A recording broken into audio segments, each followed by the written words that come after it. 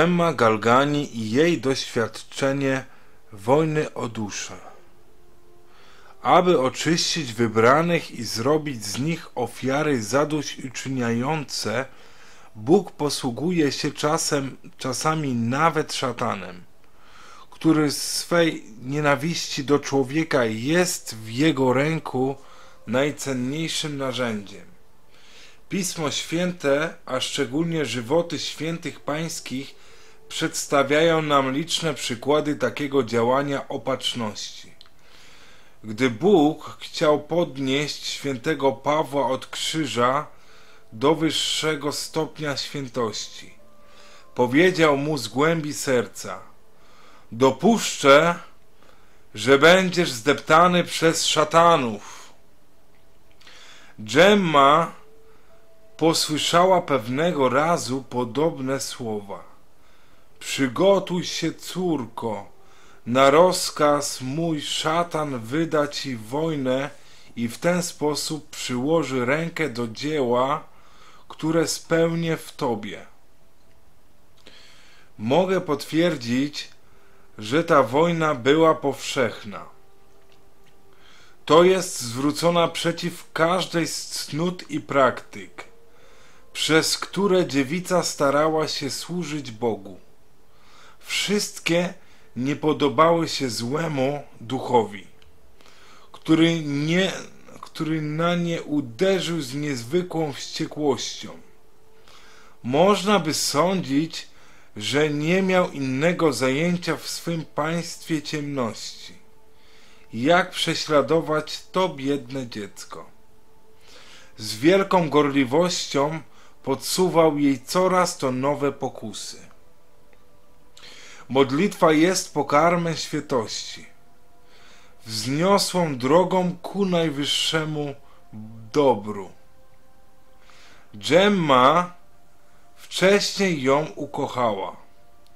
Praktykowała z całą gor gorącością duszy i winna jej była nieocenione dobrodziejstwa. I czegoż nie przedsięwziął szatan by ją odwrócić od modlitwy? Nie mogąc odnieść żadnej korzyści z przewrotnych natchnień, które jej podsuwał, pobudzał ją do niepokoju, by wywołać znudzenie i niesmak. Powodował silne bóle głowy, które doprowadziłyby duszę mniej mężną do lenistwa i wypoczynku raczej niż do modlitwy, wymagającej tak wielkiego wysiłku. Próbował stu innych środków, chcąc ją oderwać od tej boskiej praktyki.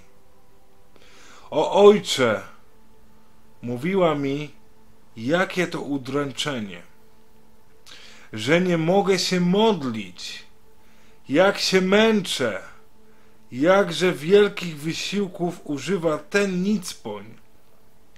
Tak nazwała szatana. By mi przeszkodzić w rozmowie z Bogiem. Wczoraj wieczorem chciał mnie zabić i zrobiłby to, gdyby nie nagle wdanie się Jezusa. O, nie miałam. Miałam w myśli imię Jezus ale nie mogłam go wymówić. Czasem wróg piekielny próbował odnieść nad nią zwycięstwo przez bezbożne sugestie. Co robisz? mówił. Czy nie jesteś głupia? Modląc się do złoczyńcy. Widzisz, jak cię dręczy i trzyma cię z sobą na krzyżu. Jak możesz kochać tego, kogo nic nie znasz? Tego, kto tak bezwzględnie obchodzi się z najlepszymi przyjaciółmi? Takie bluźnierstwa były prochem rzucanym na wiatr. Zasmucały jednak głęboko duszę, tak czułą i mi miłującą, a zmuszoną słuchać obelg na ukochanego Jezusa. Wśród tych smutków biedna dzieweczka szukała pociechy u ojca duchowego. Mówiła mu o swych trudnościach, prosiła o radę i kierownictwo. Ta pokorna i dziecinna ucieczka nie podobała się duchowi ciemności, zmniejszając i tak jego słabe szanse. Używał tysiąca sposobów, aby na czas walki odsunąć służebnicę Bożą od jej przewodnika. Przedstawiał go jej jak najbardziej niekorzystnie, jako nieuka, fanatyka, oszusta. W tych dniach pisała potwór ten, pragnąc mej zguby, starał się odebrać mi przewodnika i doradcę. Ale na próżno, nie sądzę, by mu się to udało. Taka ufność w Bogu powinna by chyba rozbroić szatana. Tymczasem działo się przeciwnie. Widząc nieużyteczność swych przewrotnych pokus, próbował siły fizycznej. Jak to, tyl, jak to tylko Gemma brała pióro, aby pisać do mnie, wyrywał je z jej rąk i dar papier na drobne kawałki. Czasem chwytając ją za włosy, odrywał ją od biurka z taką wściekłością, że całe pasma włosów zostawały w jego szponach. Walka, walka z Twym ojcem, wył głosem piekielnym. Walka aż do śmierci. Niech mi będzie wolno wyznać cichutko, że dotrzymał słowa.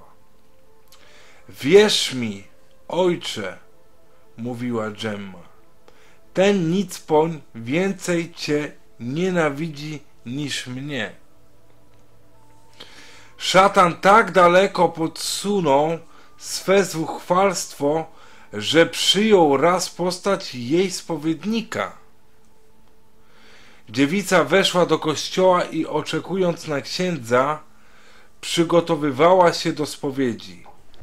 Jakież było jej zdziwienie, gdy go spostrzegła w konfesjonale, chociaż nie widziała, którędy wszedł. Czuje wielki niepokój wewnętrzny, niezawodną u niej wskazówkę obecności złego ducha.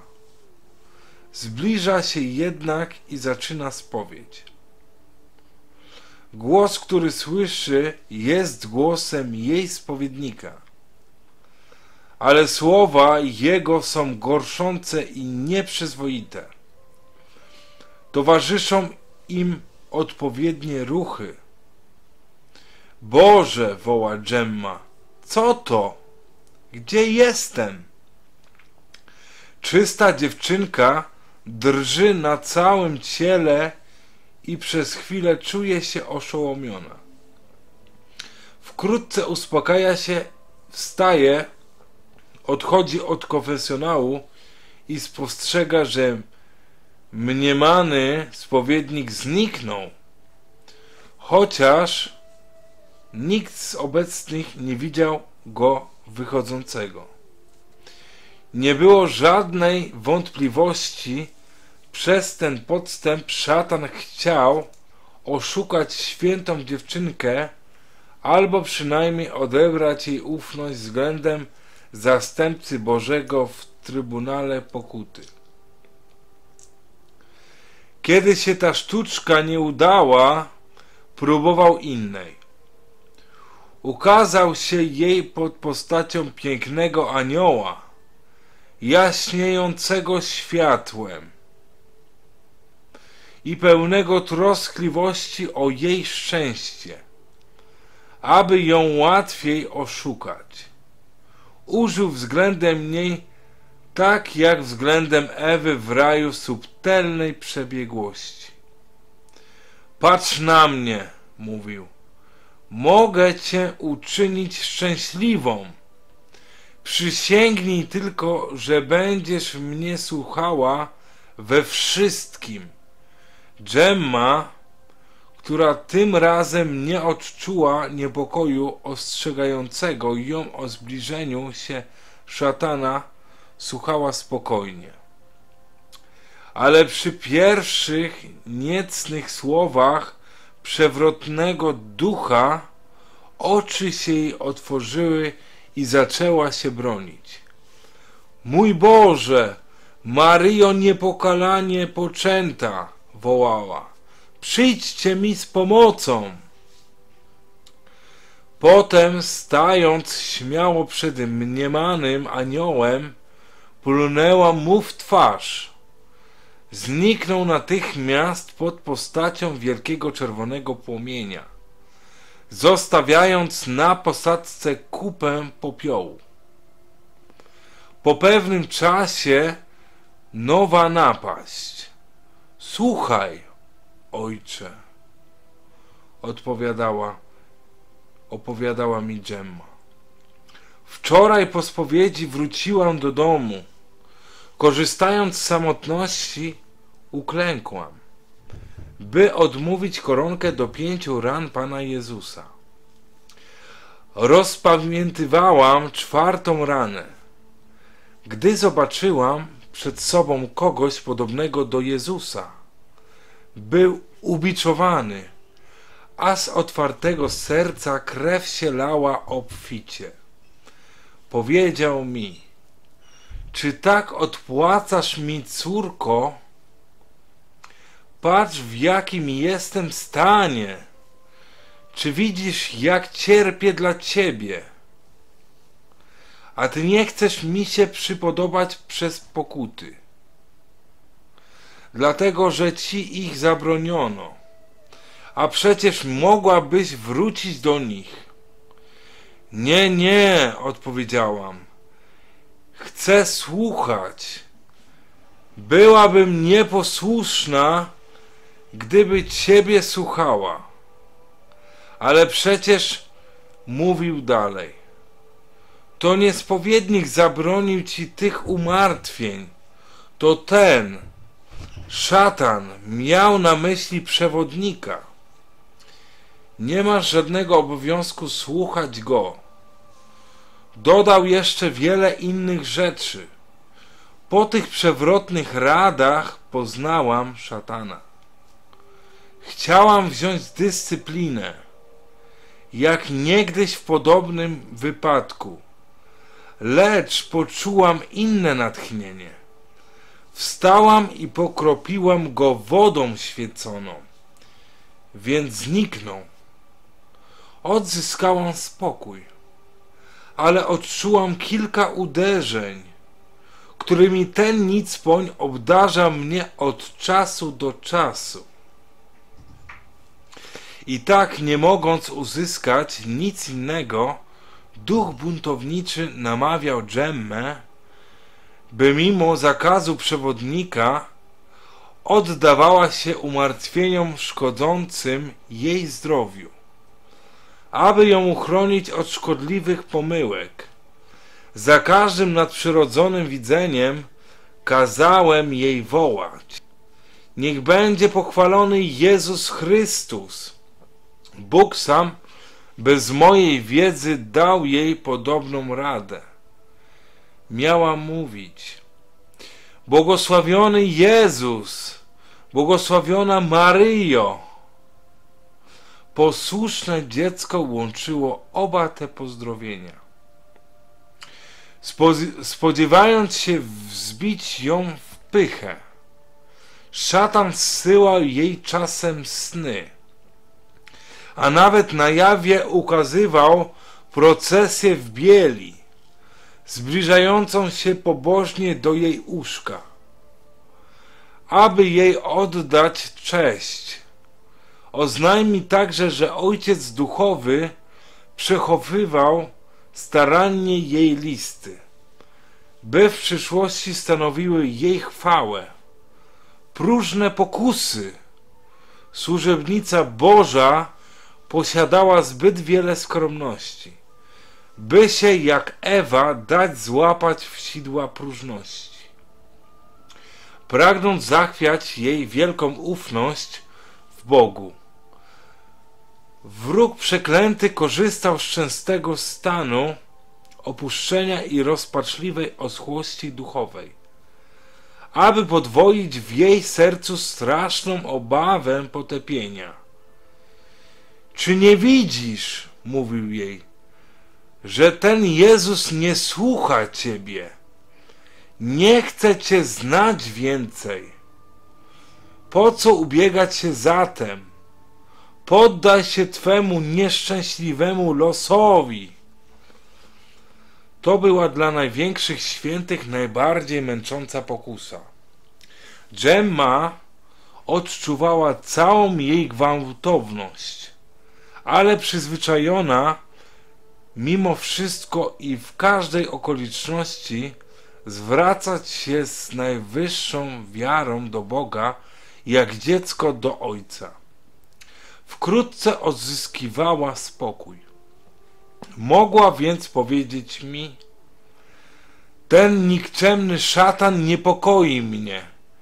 Chciałabym, ale Jezus natchnął mnie takim spokojem, że wszystkie wysiłki diabelskie nie mogły ani na chwilę zachwiać mej wiary. Anioł pychy wściekły, że cała jej obłuda nie wymogła nic na słabej dziewicy. Ostatecznie zdjął maskę i próbował siły. Okazywał się jej pod strasznymi postaciami grożącego potwora, dzikiego człowieka, psa wściekłego. Po zastraszeniu jej rzucał się na nią, bił ją, rwał zębami, rzucał nią na wszystkie strony, ciągnął za włosy i dręczył wszelkimi sposobami.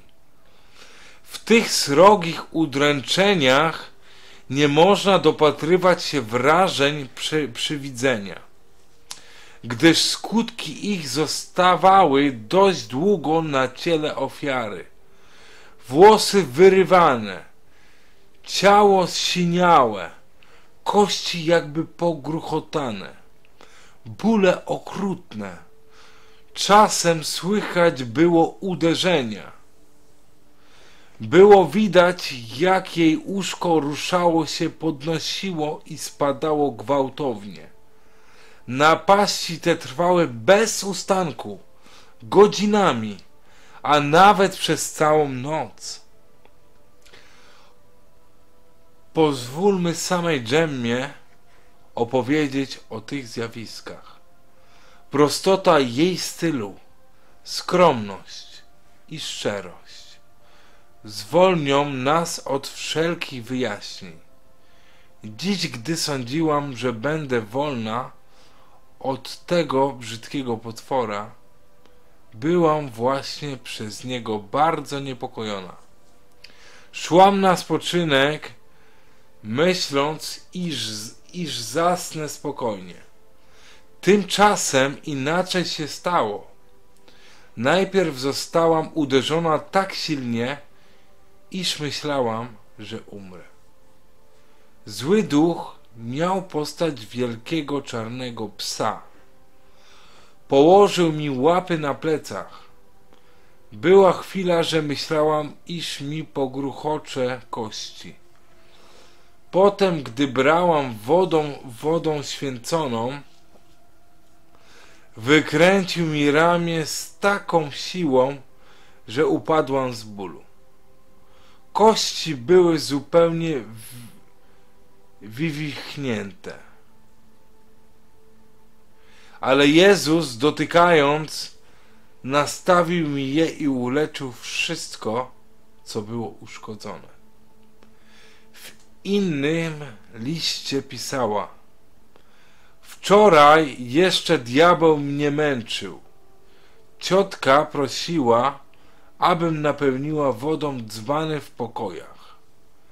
Przechodząc z dzbanami w ręku przed obrazem serca Jezusowego.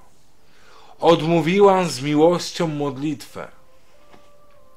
W tej chwili na ramiona spadły mi uderzenia tak silne, że upadłam, nie tłukąc jednak żadnego dzbanka. Dziś jeszcze czuję ból, szczególnie podczas pracy. Święta dziewczynka pisała jeszcze, spędziłam noc źle jak zwykle. Szatan stanął przede mną pod postacią olbrzyma i bił mnie przez całą noc, mówiąc: Nie ma jak, nie ma, nie ma już dla ciebie ratunku. Jesteś w mojej mocy. Odpowiedziałam, że się go wcale nie obawiam, gdyż Bóg jest miłosierny.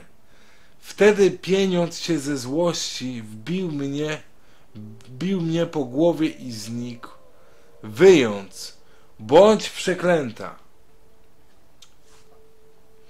Poszłam do mego pokoju, aby nieco wypocząć, ale znalazłam go tam znowu.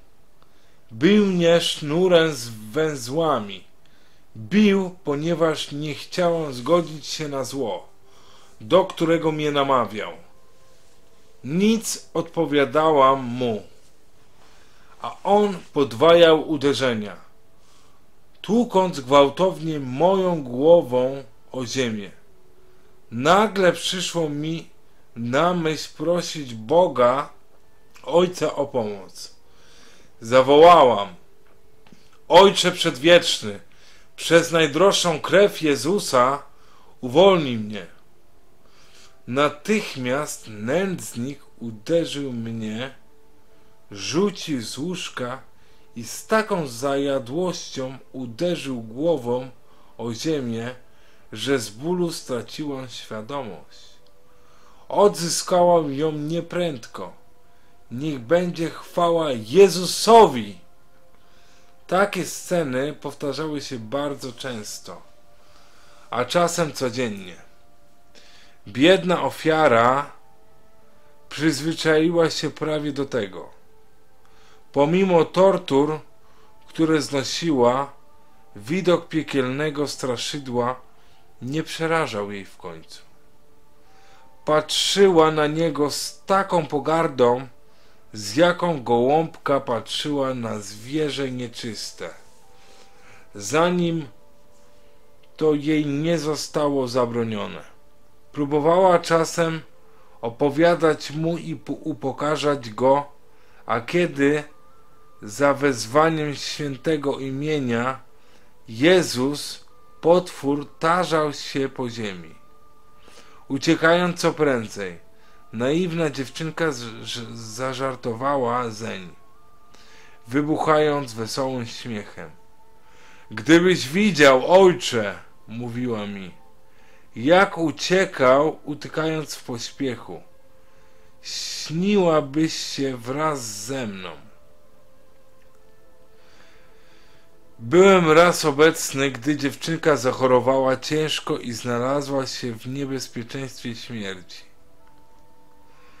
Siedząc w kąciku, odmawiałam spokojnie brewiarz. Nagle ogromny czarny kot o dziwnie strasznym wyglądzie rzucił mi się gwałtownie na no, pod nogi. Następnie obiegi pokój. Wskoczył na łóżko chore, siadł u jej głowy i zwrócił na nią dziki wzrok. Krew zastygła mi w żyłach. Gemma jednak była spokojna. No, odezwałam się, ukrywając o ile mogłem niepokój. Co tam nowego? Nie bój się, mój ojcze. To ten nicpoń, szatan. Chce mnie dręczyć, ale nie obawiaj się, nie zrobi ci nic złego. Ze drżeniem zbliżyłem się do łóżka, wziąwszy wody święconej, pokropiłem je. Zjawisko znikło natychmiast, nie przerywając ani na chwilę głębokiego spokoju chorej. Jedyną rzeczą, która naprawdę przerażała Dżemmę, powtórzmy to kolejny raz. Była myśl, że może ulec pokusie i obrazić Boga. Chociaż nigdy nie upadła w przeszłości, niebezpieczeństwo wydawało się jej zawsze równie groźnie, groźne i niepokoiło ją ciągle. Ją ciągle. Nie zaniedbywała żadnego środka obrony. Krzyż, relikwie świętych szkaplerzy. Zaklęcia, a nade wszystko ucieczki do Boga, do Najświętszej Panny, do Anioła Stróża i do Przewodnika Duszy. Przybądź prędzej, Ojcze. Pisała do mnie albo przynajmniej z daleka czuwaj nade mną. Pomóż mi zbawić mą duszę, obawiam się wpaść w ręce szatana. Ach, gdybyś wiedział, jak cierpię. Jak on się cieszy dzisiejszy, dzisiejszej nocy. Wziął mnie za włosy i ciągnął mówiąc Nieposłuszeństwo, nieposłuszeństwo.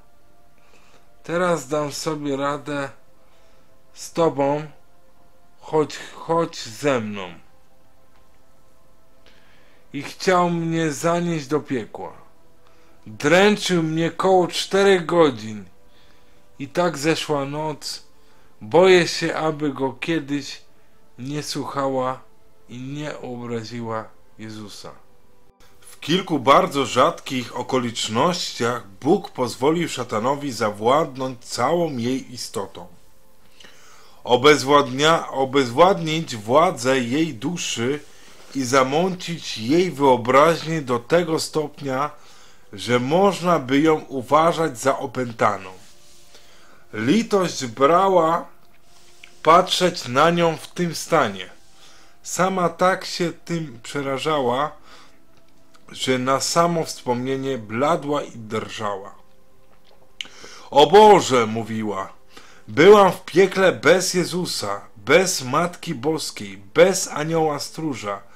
Jeżeli wyszłam stamtąd bez grzechu, Tobie to tylko zawdzięczam. O Jezu! A jednak ja się cieszę, bo cierpię i cierpiąc zawsze spełniam Twą świętą wolę.